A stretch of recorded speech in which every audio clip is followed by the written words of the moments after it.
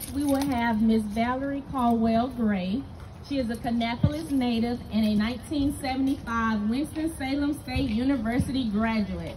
She earned her master's degree from Ohio State University and the University of North Carolina at Charlotte. She is a retired 33-year CMS elementary school principal and she retired in 2009. She is a member of C.N. Jenkins Memorial Presbyterian Church here in Charlotte, North Carolina. Miss Gray is a breast cancer survivor of 24 years. And next month will make 25 years for her. She has an amazing story of her faith journey as a breast cancer warrior and thriver. So let's welcome her up.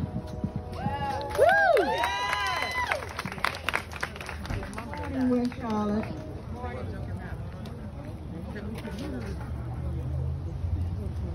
As one of your graduates say, he says all the time, Dub C. So good morning, Dub C. I am so glad to be here this morning, and you all just don't know the impact that you're going to make on the lives that not only that you pray for, but the ones that will give, that you are going to give your donations to. So I'm going to say a little bit more about that when I speak a little later.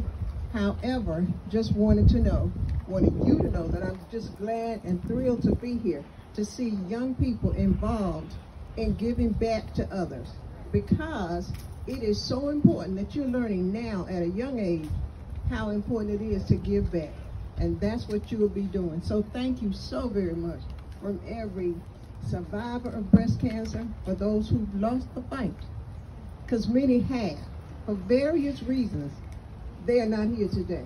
So thank you, thank you. Yes, yes.